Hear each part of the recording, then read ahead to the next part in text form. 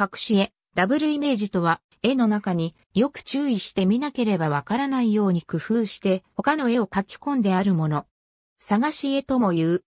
有名な絵に、嫁と義母やルビンの壺がある。嫁と義母19世紀ドイツの隠し絵。遠くで見るとドクロに見えるがよく見ると、歌川国吉の余生、見かけ箱灰が飛んだいい人だ一般的にはトリックアートの一種。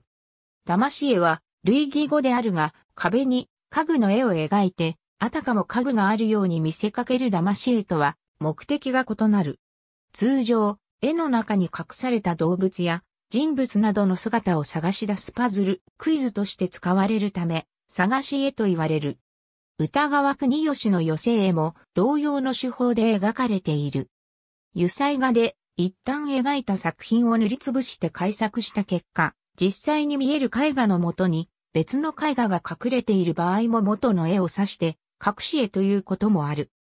安野光政の絵本、森の絵本には樹木や生い茂った草むらの中に130余りの動物が隠されているという。レオナルド・ダ・ヴィンチのモナリザ、最後の晩餐には二重、三重の隠し絵があったとする説もある。